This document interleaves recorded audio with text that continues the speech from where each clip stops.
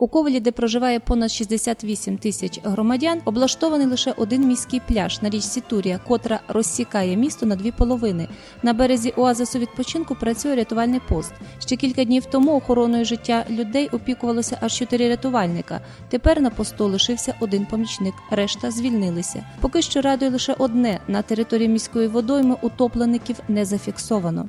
Купальний сезон щойно розпочався, як санепідстанція вже відшукала у Турії перевищення вмісту лактозопозитивних кишкових паличок більше 24 тисяч, при нормативному значенні до 10 тисяч. по нашому умовному рішенню заборонено купання на міському пляжі, тому що забрудненість води вдвічі перевищає нормативну.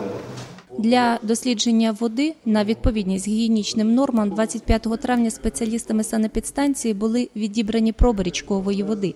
А вже 1 червня головний санітарний лікар Ростислав Кільчук, отримавши нетішні результати, рекомендував начальнику комунального підприємства Добробут Михайлу Сидоренку встановити на міському пляжі щити з повідомленням населення про забруднення водойми.